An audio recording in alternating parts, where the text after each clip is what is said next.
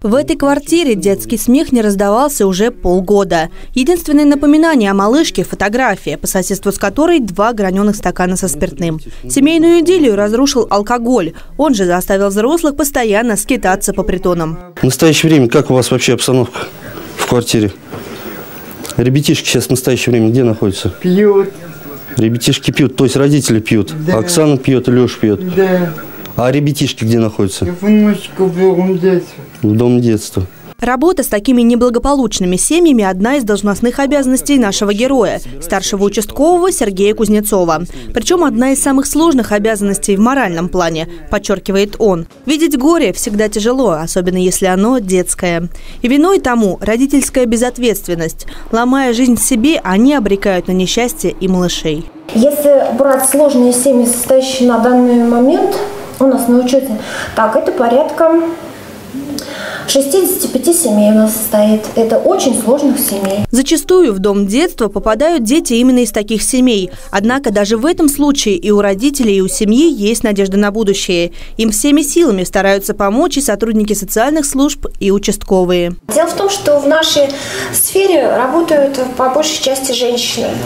Э, Женщина сама по себе существо, конечно, слабое.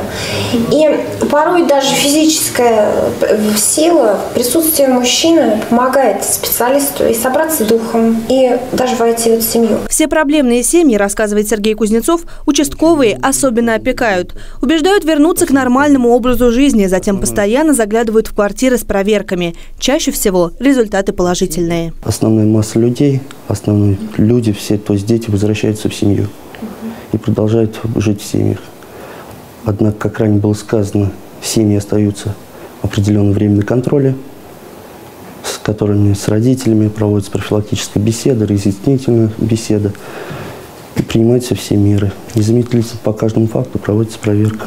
Порой, говорит Сергей Кузнецов, сразу ясно, исправится горе-родитель или нет. Без малого 10 лет в профессии уже научили его хорошо разбираться в человеческой психологии. Поэтому даже всем молодым сотрудникам полиции он советует начинать карьеру именно с работы участкового. Дело в том, что это служба, которая научится, можно сказать, всему.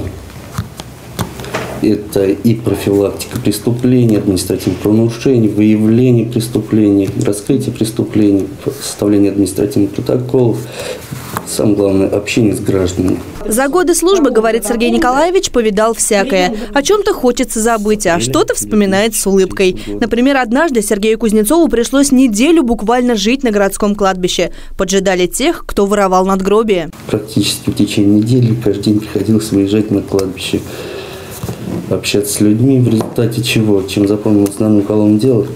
При работе, при общении с гражданами была получена информация, что данному факту причастны люди, проживающие неподалеку от кладбища в дачном поселке.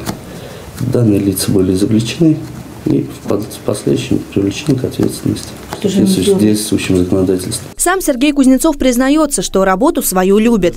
Сперва, конечно, было трудновато, но помогли старшие товарищи. Они же стали образцом профессии. Поэтому на вопрос, что же главное в работе участкового, Сергей Кузнецов, не задумываясь, отвечает – помощь людям. Участковый пункт полиции, непосредственно который я обслуживаю, расположен по адресу улица Строителей 3, город Заречный, Пензенской области. Дни приема вторник, четверг, суббота с 17 до 19.